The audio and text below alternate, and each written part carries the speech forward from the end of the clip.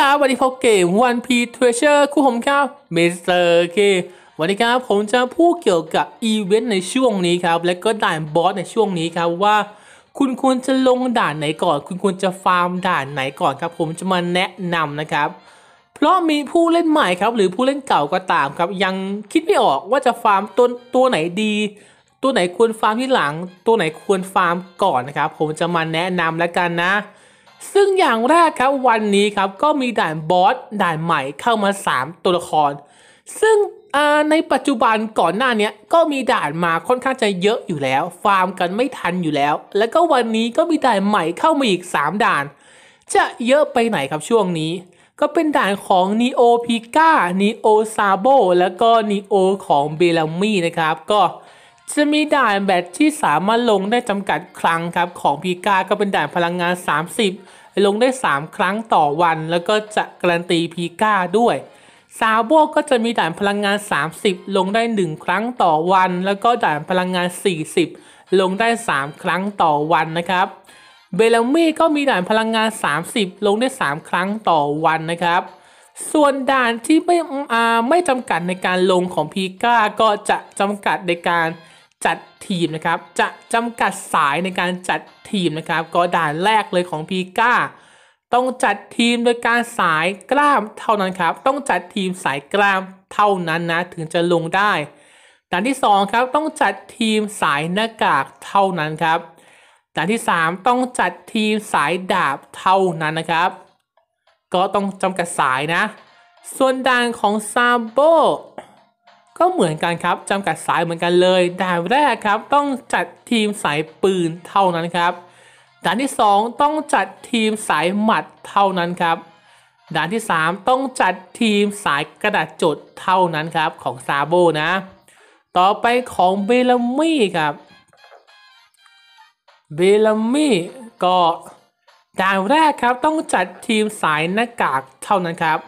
ด่านที่ 2 ต้องจัดทีมสายธงเท่านั้นครับด่านที่ 3 ต้องจัดทีมสายลูกศรเท่านั้นนะครับ ซึ่งอาถามว่าควรฟาร์มไหมเอเจ้าสามตัวเนี้ยบอกเลยครับว่าไม่ เป็นสามตัวละครใหม่ เป็นบอสนีโอที่ไม่แนะนำให้ฟาร์มเลยครับและถามว่ามันมันอ่อนเลยพี่มันไม่เก่งเหรอ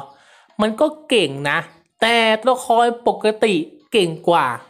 หมายความว่าคือพวก Neo ครับ ไอ้พวก Neo พวกนี้ครับ มันเป็นมันเป็นตัวละคร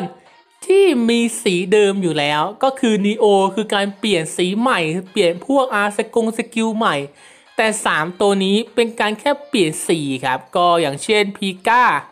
สีเดิมของพีก้าคือสีเหลืองครับ แล้วก็เปลี่ยนเป็นสีแดงครับของ Neo ส่วนซาโบครับซาโบสีเดิมคือสีเขียวนะครับ แล้วก็เปลี่ยนสีใหม่เป็นสีเหลือง ส่วนเบลามี่ครับสีเดิมคือสีฟ้าครับแล้วก็เปลี่ยนสีใหม่เป็นสีแดงนะครับ ซึ่งสีเดิมสีดั้งเดิมตัวของเวอร์ชั่นเดิมของมัน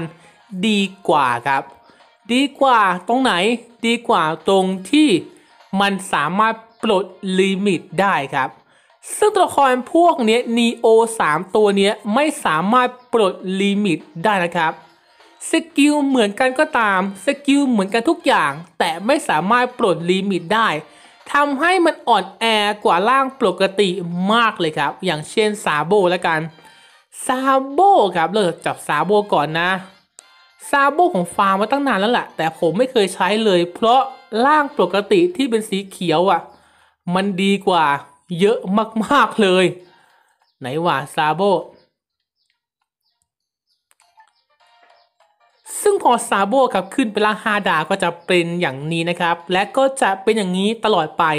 เพราะไม่สามารถปลด limit ได้ครับ จะมากสุดก็แค่ up skill ไม้ตายให้เต็ม max แค่นั้นเลย แต่ก็จะมี skill แบบเดิมแค่นี้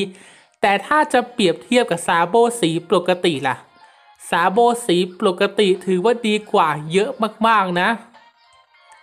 ปกติเป็นสีเขียวนะครับซาโบไหนนะนี่ครับ นี่ครับ ถ้าซาโบเป็นสีเขียวปกติครับ จะมี skill Abi หลัก หลังจากการปลด limit ครับ และก็จะมี skill ติดตัว ซึ่ง skill ติดตัวครับค่อนข้างจะดีมากๆเลยนะครับ ก็จะมี skill ในการทำให้เพิ่มพลังโจมตีครับ ถ้าหากคุณกดในการกด good กด great หรือกด perfect ครับ จะเพิ่มพลังโจมตีเพิ่มขึ้นไป 2 เท่าต่อการกดนะครับ ถือว่าดีมากๆ ซึ่งไอ skill ติดตัวพวกเนี้ยหรือ skill Abi หลักพวกเนี้ยถ้าเป็นร่าง Neo เนี่ย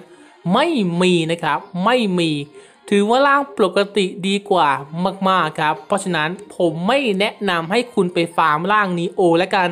ถ้าอยากได้พวกซาโบบาโทหรือพีก้าครับไปฟาร์มร่างปกติ คุ้มกว่านะครับ และด่านก็ง่ายกว่าด้วย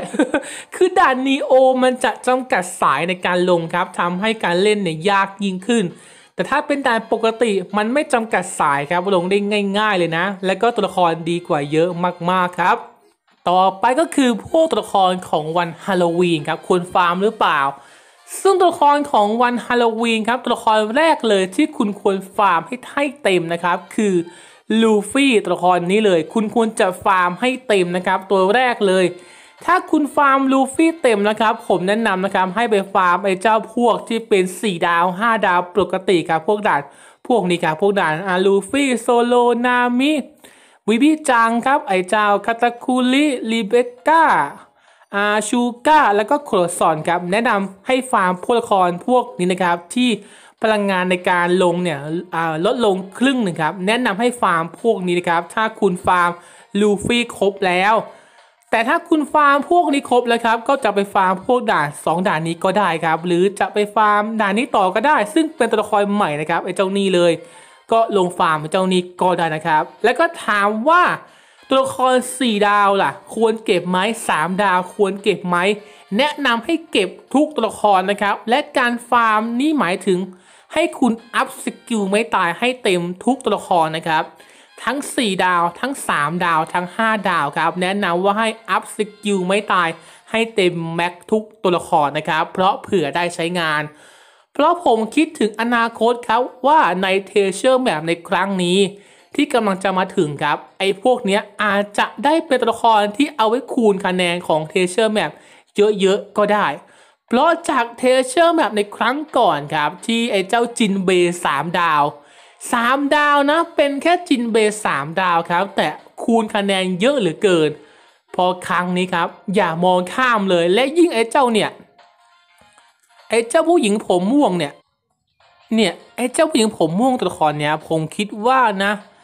ควรจะฟาร์มอย่างยิ่งครับ เพราะไอ้เจ้านี่มันเป็นตัวละครใหม่ใช่ไหมล่ะแล้วก็เป็นตัวละคร 5 ดาวตัวละครใหม่ แล้วก็มีเจ้าอาตัวละครนี่ตัวหนึ่งที่เป็น 3 ดาวตัวละครใหม่ ควรจะฟาร์มไว้ครับดานดานเนี้ยของมันเนี่ยควรจะฟาร์มไว้ทุกตัวละครเลยนะครับ เพราะมันคือตัวละครใหม่ แล้วผมก็มั่นใจ 100%ครับว่าด่านเนี้ยตัวละครพวกเนี้ยต้องเป็นตัวละครที่เอาไว้คูณคะแนนของ Event t e a s u r e Map แน่นอนครับ และดีไม่ดีนะเอเจอร์พวกนี้อาจจะคูณคะแนนเยอะดูก็ได้ เหมือนจินเบในครั้งก่อนครับ ที่เป็น 3 ดาว แต่ดันคูณคะแนนเยอะครับ เพราะฉะนั้นครับผมแนะนำให้ฟาร์มเก็บไว้นะครับ ก็มีเจ้าลูฟี่กับไอเจ้าผู้หญิงผมม่วงนี่แหละที่เป็นสองที่เป็น 2 ตัวละครใหม่ ที่น่าจะคูณคะแนนแน่นอน 100%ครับ แต่เจ้าพวกคาตาคุริวิวิจังพวกนี้ครับอาจจะคูณครับ แต่ก็ควรเก็บไว้นะครับ เพราะตัวละครพวกนี้ปีหนึ่งมาครั้งหนึ่งนะครับ ปีหนึ่งมาครั้งหนึ่งนะ เพราะฉะนั้นครับควรจะฟาร์มเก็บไว้ทุกตัวละครนะครับเว้นกับไอ้พวก Neo นี่แหละ Neo พวกนี้ผมแนะนำว่ามองข้ามมันไปเลยนะครับ โอเคครับ ก็มีประมาณนะครับในการแนะนำตัวละครที่ควรฟาร์มในช่วงนี้นะครับยังไงก็สู้ๆแล้วกัน เพราะประมาณวันที่ 16 ครับ 16 นี้ Treasure Map ก็จะมาแล้วนะครับ แล้วก็เดี๋ยวประมาณวันที่ 9 นี้ ก็จะมีอีเวนต์ของคาตาคุริเข้ามาอีกนะครับ ก็ช่วงนี้อีเวนต์เยอะมากๆครับ ก็รีบฟาร์มรีบเก็บกันนะครับ สู้ๆ เคครับยังไงก็ลืมกดไลค์กดแชร์กดตามเพื่อเป็นกำลังใจผมนะครับ ลิงก์โหลดเกมใต้คลิปนะ สวัสดีครับ